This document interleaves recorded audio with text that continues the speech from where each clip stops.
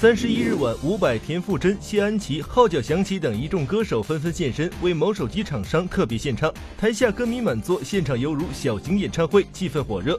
具有本土草根味的伍佰一向最受观众欢迎，演唱时段台下不断挥舞荧光棒。只见他唱到最后一首招牌曲《你是我的花朵》时，更别出心裁，现场教学热舞，嗨翻全场三千歌迷。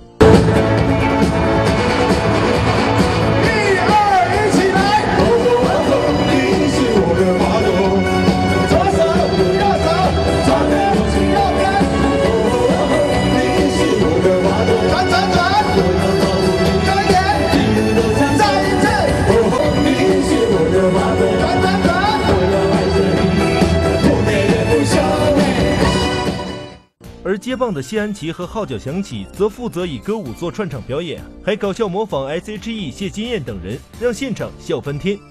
下半场再迎来 S.H.E 的真身黑笔田馥甄接棒，顿时让现场气氛达到最高潮。虽然是众多人心中的女神，不过黑笔当日就难得透露出自己也有小粉丝心态。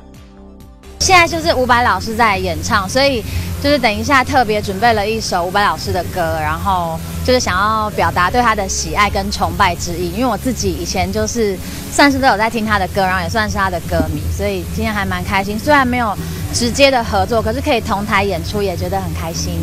未来会想跟他邀歌吗？希望，非常的希望。黑碧连唱八首歌曲圆满压轴，而这也是他暌违一年多以来的个人独唱，算是为 S.H.E 即将六月登上小巨蛋先行暖身。